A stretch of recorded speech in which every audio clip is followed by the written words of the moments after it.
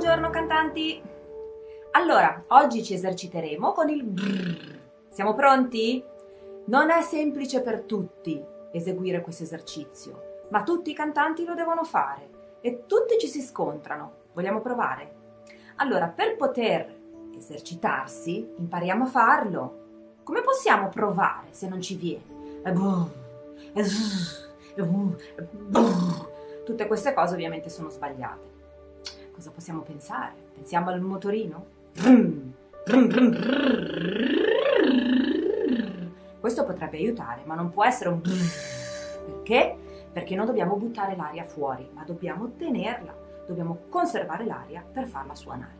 Allora, iniziamo a gonfiare il torace nel modo corretto, pensando mm, di lasciare che l'aria entri. Faccia morbida, bocca morbida e con un semplice movimento muscolare che parte dalla schiena e interessa tutti i muscoli intercostali, dilatiamo il torace come un, um, un uh, eh, aiutatemi, eh, come un uomo che vuole far vedere i muscoli, d'accordo? Ah, pardon, bocca aperta. Tutto fuori. Lasciando che l'aria entri. Il torace si apre e la natura del nostro corpo ci fa semplicemente riempire i polmoni. Niente di più. E non dobbiamo riempirli da sentirci dei palloni gonfiati. Dobbiamo riempirli per quanto ci basta. E basta e avanza. Nel momento in cui abbiamo respirato correttamente, mandato dentro l'aria correttamente, dobbiamo far partire i muscoli addominali dorsali, laterali e il nostro amico pavimento pelvico, lasciando in pace gli addominali davanti. Lasciare che la pancia faccia quello che vuole 99 su 100 va per fuori, ma non per tutti è così. Semplicemente rilasciata. Mm? Allora, bocca morbida, faccia bella rilassata, gonfiare semplicemente, aprire semplicemente il muscolo intercostale. E adesso si parte con il nostro amico brr. Non dobbiamo concentrarci tanto su quello che devono fare le labbra. Pensiamo al suono. Bene, Proviamo a farne qualcuno, d'accordo?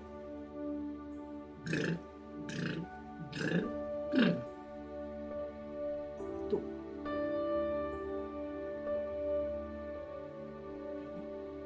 Ancora.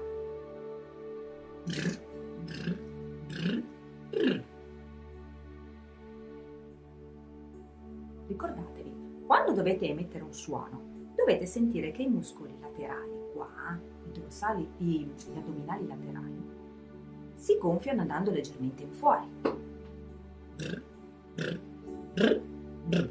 Se questo esercizio non vi viene, dovete semplicemente fare un colpetto di tosse. Così. Viene abbastanza naturale. Un'altra cosa che viene abbastanza naturale è immaginare di mm, riempire d'aria un palloncino. Facciamo finta che questa mano sia il palloncino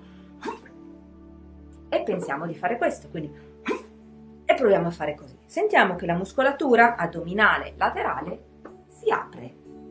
Aprendosi e aprendosi anche il torace, noi stiamo facilitando il diaframma. Il diaframma deve avere tanto spazio per potersi allargare scendere. Se noi lo costringiamo, cosa fa il nostro amico diaframma che sta in questa posizione?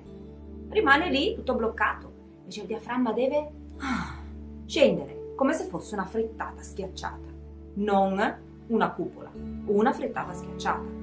Ma noi come possiamo farlo questo? Appunto lasciando che il torace sia bello aperto, spingendo verso l'esterno con i muscoli intercostali con un bel mus- lavoro muscolare della schiena e delle parti laterali del torace. Quindi, ricominciamo. Viso morbido, se ci sentiamo un po' di tensione della faccia, dobbiamo fare ginnastica. Un'altra cosa che deve essere esercitata bene per rilasciare tutti i muscoli, che cos'è? La lingua, la nostra cara amica lingua. Qual è la posizione di riposo della lingua? La punta della lingua deve essere appoggiata ai denti di sopra. Noi adesso facciamo un sospiro di sollievo. Mm, chiudiamo la bocca e appoggiamo la lingua morbida. Sentiremo che la punta della lingua si appoggia naturalmente sui denti di sopra.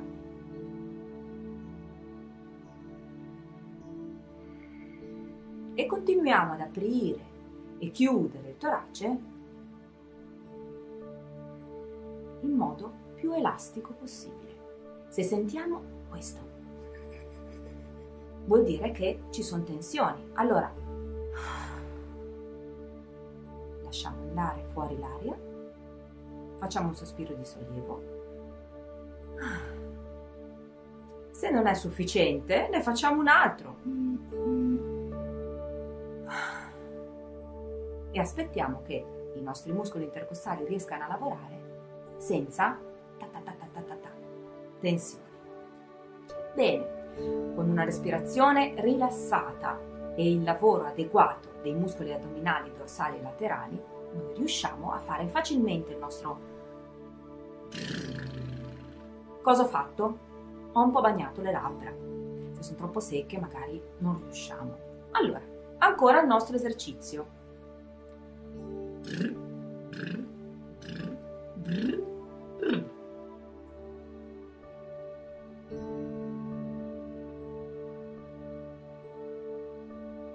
Ancora.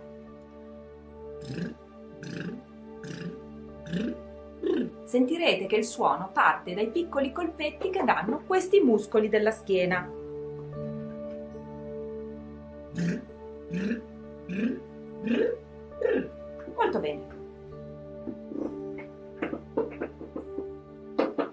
Allora, questi devono lavorare.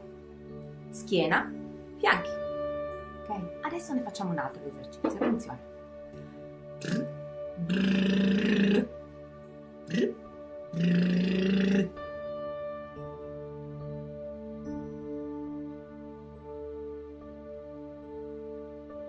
Proviamo a tenerlo il suono adesso.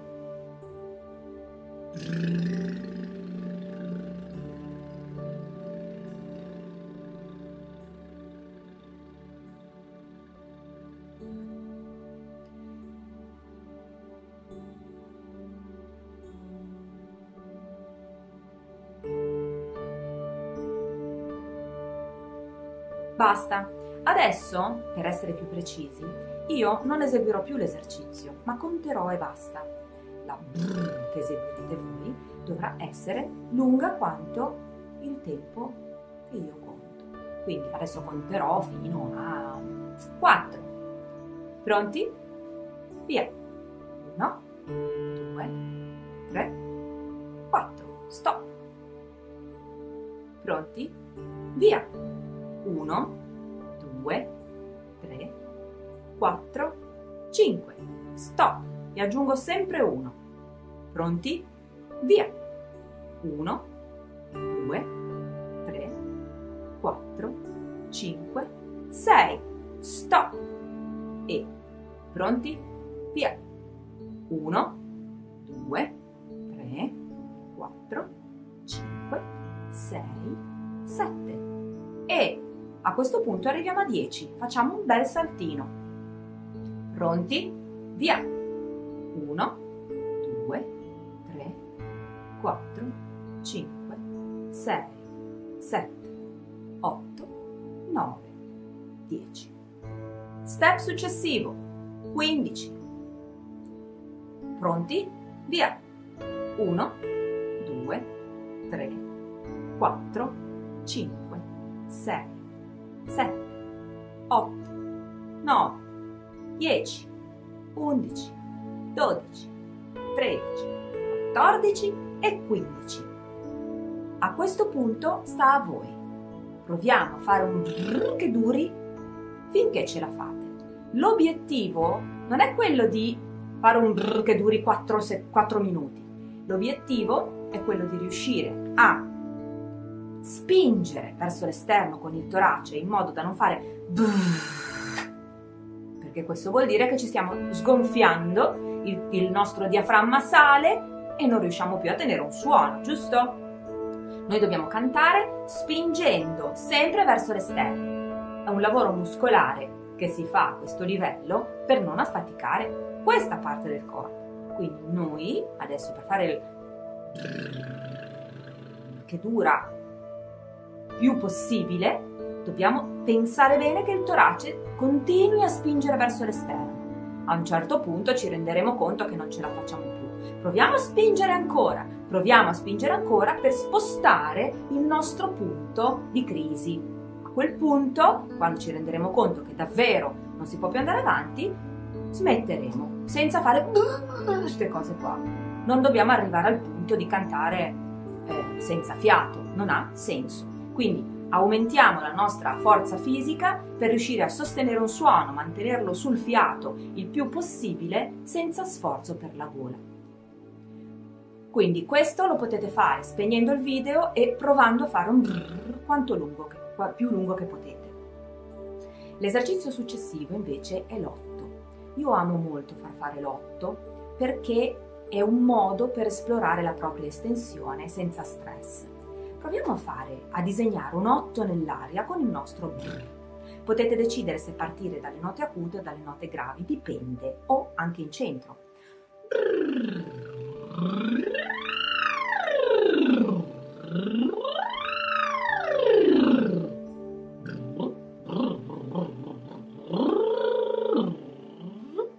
Questo è un buonissimo esercizio per giocare con le curve di suono e cercare di passare e di, di, di attraversare i passaggi, i registri di testa il registro di petto in modo naturale.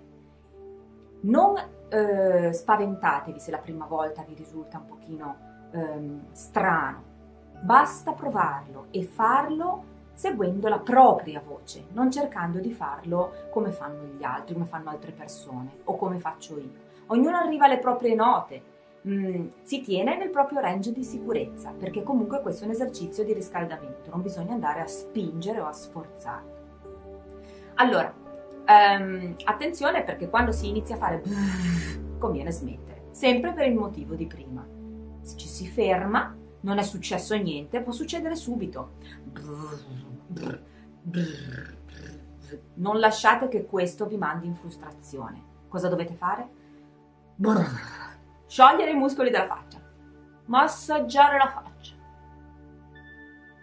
Non vergognatevi mai della vostra splendida faccia. Uh, uh, uh, D'accordo?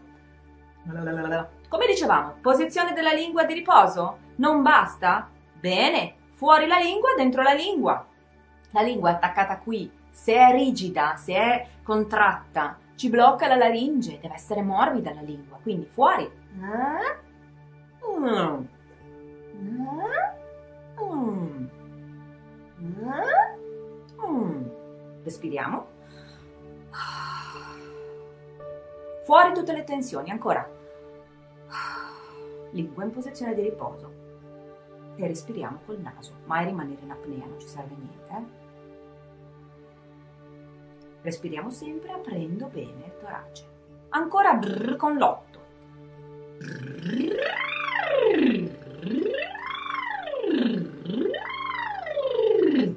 Facciamo fatica a fare l'otto sulle note acute? Bene. Pensiamo un suono acuto, come fosse Oh, bello! Uh, forte! Sì, sì. E facciamo una bella linea che va giù. Allora a questo punto cosa possiamo fare? Immaginiamoci di disegnare delle lettere dell'alfabeto in eh, stampatello possibilmente, quindi magari una I, una A, una B, una E, una O. E così via. Una Z. Eh, chiedo scusa, non l'ho fatto in modo speculare, non ci riuscirei mai. Comunque, guardatevi e pensate di fare questo disegnino nell'aria. Immaginate e tutte le volte, questo è un trucchetto, che dovete cantare le note nel registro di testa, pensate di cantarle basse, postura dall'alto verso il basso. Quando invece pensate di fare le note basse, pensate in alto, quindi il contrario.